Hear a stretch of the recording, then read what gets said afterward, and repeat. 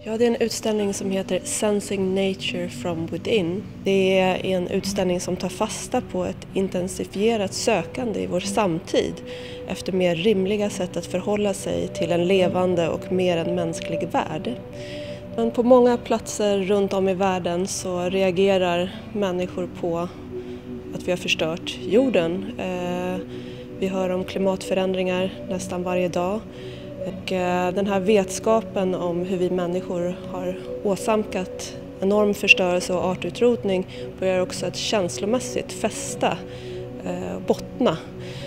Och det, eh, har också, det har ju självklart genererat rädsla, frustration och ångest men det har också genererat ett intensifierat sökande efter någonting annat, efter andra sätt att tänka och leva och det har också resulterat i en eh, nyfikenhet inför hur vi kanske i framtiden kan utveckla diametralt annorlunda relationer i en mer än mänsklig värld.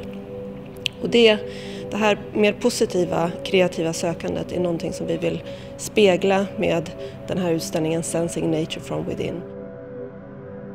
Men vi har kunnat utveckla ett gediget program mycket tack vare ett samarbete med forskarskolan Agenda 2030 på Lunds universitet och det är vi väldigt glada för.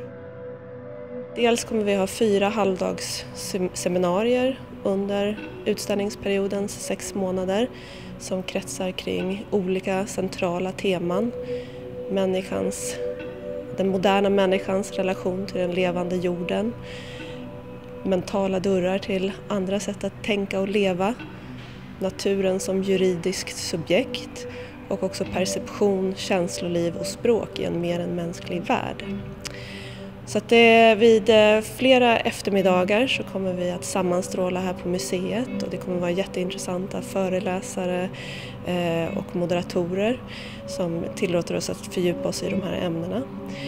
Sen kommer vi också att ha en dansföreställning med de brasilianska koreograferna Elisabeth Finger och Manuela Eichner. De kommer uppföra sin föreställning Monstra. Och vi kommer också ha en performance av Ingela Irman som inte kommer äga rum här på Moderna Museet Malmö utan där våra besökare får ta, ta sig till konstnärens lägenhet i bostadsområdet Seved. Och där kommer jättemusslan ta emot Eh, och sen lägga sig i badkaret.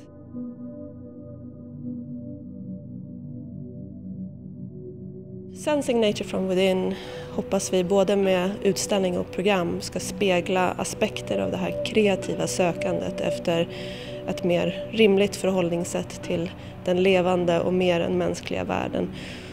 Och vi hoppas att besökare som kommer hit ska känna sig välkomna att delta och att själv fundera och tänka och också i vår verkstad skapa. För att det är bara tillsammans som vi kan ta oss vidare och eh, hitta ett annat sätt att leva.